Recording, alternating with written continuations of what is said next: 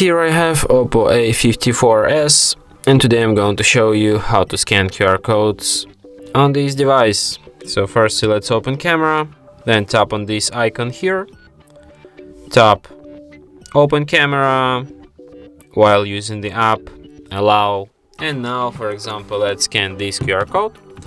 And as you can see, as soon as my camera spots this QR code, it proposes to open the page, which has been encoded this QR code, this page hard reset info. And that's basically how you can like scan any QR code and see what's being encoded into it. So yeah. And that's it. Thanks for watching. If you find this tutorial useful, don't forget to hit that like button and subscribe to our channel.